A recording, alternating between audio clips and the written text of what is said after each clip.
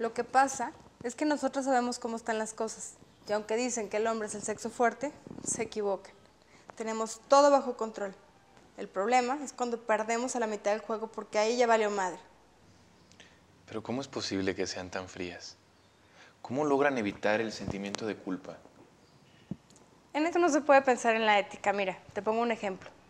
Si un hombre nos invita a salir y sabemos que tiene dinero y además tiene una plática interesante, simplemente lo aprovechamos. Que me lleve a cenar, que me regale cosas, que me diga cosas bonitas. Yo sé que él quiere algo conmigo, en todo momento lo sé, pero hay que aprovechar el mayor tiempo posible antes de que nos haga la pregunta. Y hay dos formas de contestar esa pregunta y depende de lo que quieras hacer. Una de ellas es decirle que por el momento no te interesa tener una relación y que pensabas que solamente era una bonita amistad. Con esto, lo más seguro es que el hombre no te vuelva ni a hablar. Si es lo que quieres está bien, pero si lo que quieres es seguir divirtiéndote un rato más, tienes que dejar las cosas a la imaginación. Mira, lo raro es que me encanta estar contigo, me gusta salir contigo. Nunca había conocido a alguien como tú. ¿Quién sabe en un futuro, no crees? Con esto lo mantienes enganchado por lo menos un rato más y lo ideal es tener hacia varios cautivos para decidir después con cuál y cuándo. ¿Cómo hacen para concentrarse y no quedar enganchadas ustedes? Bueno, ahí ya depende de la naturaleza humana. En este caso, la mujer busca un hombre que la proteja y case para ellas, así que solamente es cuestión de cumplirle con su instinto que es el sexo. No importa pagar de esta manera si se disfruta, aunque si es malo en la cama, hay que sacarlo de preferencia cruelmente para que ya no delata. ¿Cómo el hombre puede entrar en este juego ganando también algo? No puede, solamente si ella quiere ceder. La forma más fácil para un hombre es inflándonos el ego. Eso nos encanta, que nos veneren, que nos prometan cosas. Aunque al final de cuentas sepamos que son puras mentiras, eso no nos quita el momento agradable. Es como un círculo.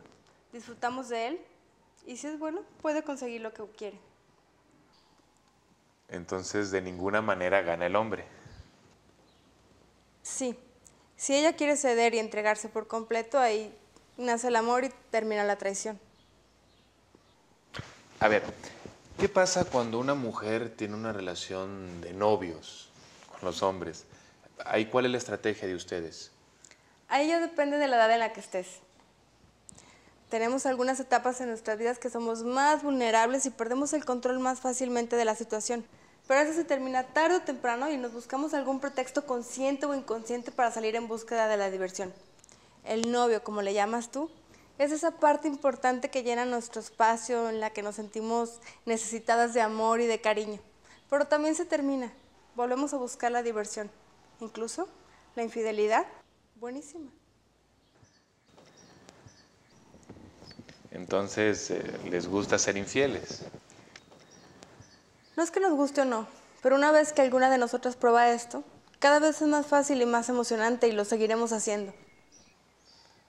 ¿Y cuando la mujer le pide al hombre que se case con ella? Eso puede ser por dos cosas, amor o seguridad. Pero al final de cuentas el amor se desvanece con el tiempo y se convierte en otra pieza más del juego. Es fácil utilizar esa palabra sin sentirlo y hacer creer que lo hacemos. Te amo. Y además, normalmente el hombre nos mantiene y nos da un estatus. Es complicado, ¿no? Los conflictos son interesantes. A mí, por ejemplo, me encanta vivir de ellos, no siendo yo la que queda afectada. Es como el ajedrez. Tienes que usar tus propias estrategias para demostrar tu capacidad. ¿Y qué pasa entre ustedes, entre mujeres? Competencia, pura competencia. Solamente para ver cómo estuvo la pesca del día anterior. Aunque si las amigas son verdaderas, pues nos pueden ayudar a cumplir nuestras metas. ¿Todas ustedes piensan así? No, pero casi todas. Bueno, pues creo que sería todo. Muchas gracias. Quiero cerrar con una conclusión. Adelante. Esto es para todos los hombres. Cuando más crean que nos tienen en sus manos, Piénselo dos veces porque seguramente hay dos hombres pensando lo mismo de la misma mujer. Corte. Listo, gracias. Guarda todo, ¿no? Por favor. Ah, gracias. Oye, es muy duro como piensas. No, simplemente estoy siendo sincera contigo a diferencia de otras. No, sí. De hecho, me gusta mucho eso de ti. Además, es el juego clásico entre los sexos. Sí. Oye, ¿no te gustaría tomar un café? La verdad es que sí se me hace muy interesante lo que piensas. Claro. Aquí tienes mi tarjeta.